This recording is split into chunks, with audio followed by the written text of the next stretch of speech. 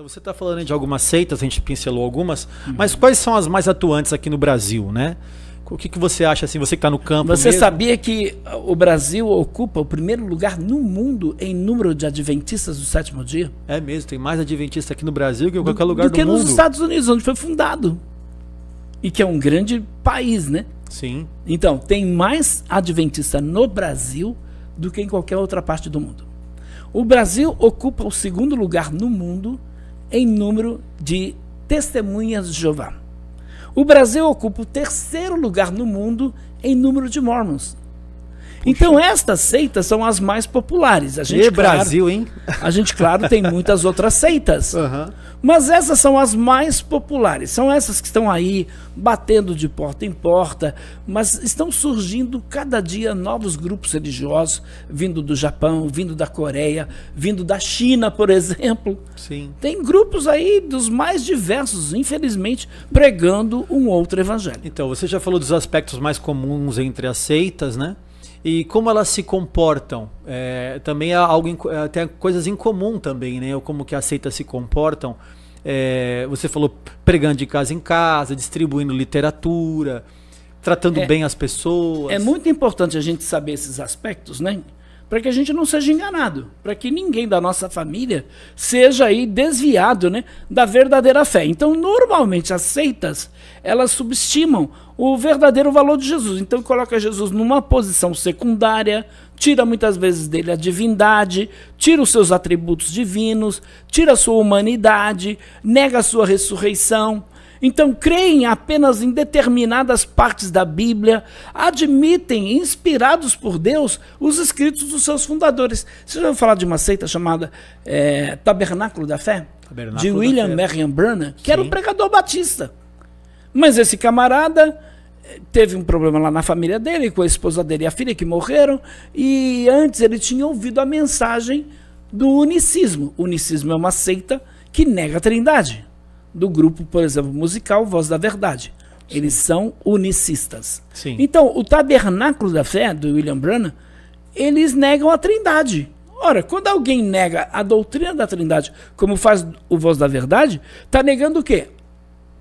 A essência de Deus, do único Deus verdadeiro. Porque Deus é Pai, Filho e Espírito Santo. Então, eles admitem como inspirados os escritos dos seus fundadores, o Tabernáculo da Fé. Segue as mensagens de William Branham. É, eu vi esses aí, dias um rapaz fez uma canção para William Branham. Uma canção, aí falando que o William Branham é maior do que Jesus, alguma coisa assim. Não, sabe quem Ele disse fez isso? uma canção, meu. Não, não. Quem chegou ao ponto de dizer que William Branham era o verbo encarnado de Deus na Terra foi o T.L. Osborne. Você já ouviu falar do T.L. Osborne, um grande pregador pentecostal, muito usado na área de cura divina. Ele era o apóstolo da África, o T.L. Osborne. Mas ele chegou ao ponto de dizer que William Branham era o verbo de Deus encarnado aqui na Terra. Meu Deus, hein? É, Quanto engano, pois é. né? E esse mesmo T.L. Osborne, que era um pregador da teologia da prosperidade, confissão positiva, antes de morrer ele veio no Brasil. E ele falou no conselho de pastores com a morte da esposa dele por uma enfermidade, porque essa turma não aceita que um cristão pode ficar enfermo. Sim. E, Sofrimento é sinônimo de, de endemoniamento, falta, falta de, de fé. fé. enfim. E é. aí ele perdeu a esposa, né? Graças a Deus ainda houve tempo. Ele declarou abertamente que ele era contra essa teologia que ele pregou a vida inteira. Olha. A vida inteira. Graças a Deus, este homem é, morreu crendo no evangelho verdadeiro. Graças a Deus. Tia Lisborn. Então você falando de líderes aí, até de teologia da prosperidade, e tem algumas características também de líderes de seitas, né? Por exemplo, nós temos, você falou de três aí, nós temos o Joseph Smith, o Ellen Goldwhite, uh, o Charles César Russell, fundador do Jeová, William Branham, é, é, são alguns. E, e, é interessante porque uma outra característica de seitas é que eles dizem ser os únicos certos. Aí a gente vai aqui ter um problema sério, tenho certeza que os nossos ouvintes não vão gostar de ouvir isso. É, olha lá, hein? Por exemplo, Polê hora da polêmica. Hora da polêmica. Por exemplo. é. Para, para, para. Não, continua, continua. Por exemplo, você já ouviu falar da igreja Congregação Cristã do Brasil? Ai, ai, ai. Você Então, quer... Aí é... É uma igreja cristã, a congregação? O que, que você acha? Manda o seu palpite aí. Eles estão perguntando aqui. Manda o seu palpite aí. É, eu não vou falar sobre ela agora, eu quero ver o que você vai falar sobre ela. Eu quero a sua participação, tá bom? Você está curtindo aí, está dando like, mas eu quero a sua participação. Por favor, diz para mim o que, que você pensa da congregação cristã. Aliás, você tem parente envolvido nesta igreja? E aí, se você tem parente, eles te consideram irmão em Cristo? Eles te cumprimentam com a paz do Senhor? O que, que você acha? É uma seita?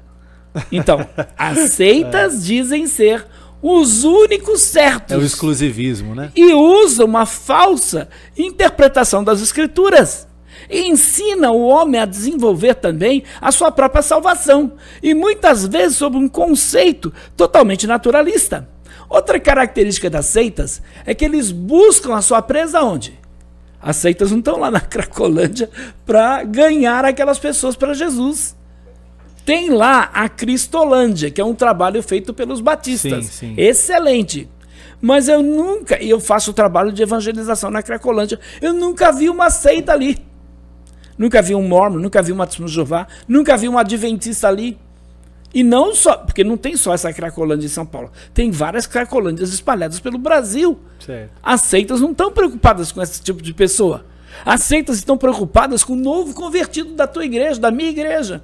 Então, quando eles sabem que o camarada abraçou o evangelho, largou as drogas, largou a prostituição, largou a criminalidade, aí eles vêm como um urubu na carniça.